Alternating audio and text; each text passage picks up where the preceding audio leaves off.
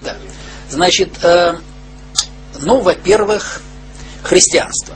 Христианство, в общем-то, э, начало э, заканчивать свое существование в те времена, когда Маркс писал коммунистический манифест. Если взять его почитать, он очень четко сформулировал положение христианства. То есть оно гибнет. И это действительно так. Потому что, э, ну, в силу того, как оно было построено, э, значит, оно не смогло устоять против социальных революций.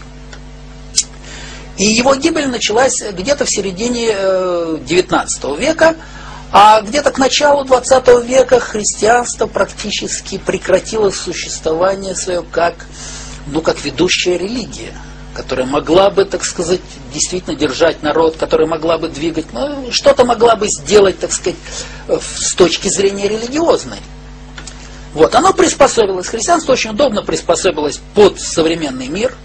Э, существуют их христианско-демократические партии, да, так же, как в Израиле существуют тоже, так сказать, партии, которые у власти стоят. Вот, религиозная партия. Э, то есть практически как религия, как э, некий духовный базис для людей, христианство умерло. А ислам, он был заложен в те времена, когда он закладывался, он был заложен именно как очень стойкое, очень э, жизнестойкое, крепкое учение которая способна выдержать любые э, вот, ситуации изменения в мире. Э, он строился по-другому, ислам.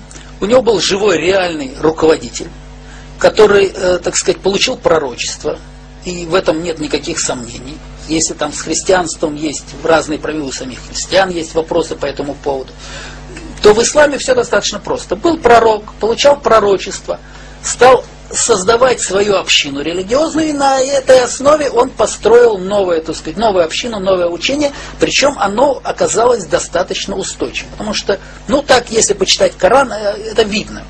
Видно просто из самого Корана, что значит э, учение строилось таким образом, э, чтобы оно выстояло, выстояло в сложных ситуациях. Вот. И действительно так оно и произошло, это учение ислам выстоял сумел выстоять в сложных ситуациях.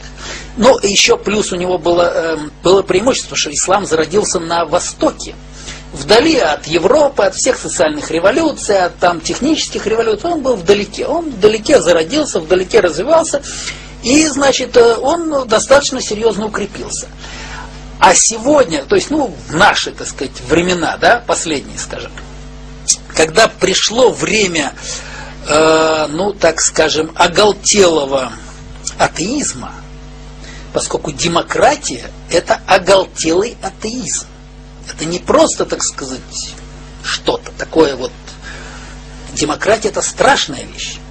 Это атеизм, доведенный, так сказать, до высшей точки. До абсолюта, да. Так вот, когда пришло время вот этого самого демократии, когда демократия начала заливать весь мир – когда от христианства практически остались только э, ну, памятники архитектуры, так скажем. Больше почти, почти ничего. От иудаизма в силу того, что он попал под колпак сионизму, тоже практически ничего не осталось. И в мире сегодня, кроме ислама, ничего не осталось. И ислам, кроме всего прочего, он э, был так сформирован, что те, кто Э, пошли за Мухаммадом, и те, кто в дальнейшем, так сказать, э, вот, следовали за этой религией, они, э, как это сказать, они постоянно находились в состоянии общения с Творцом.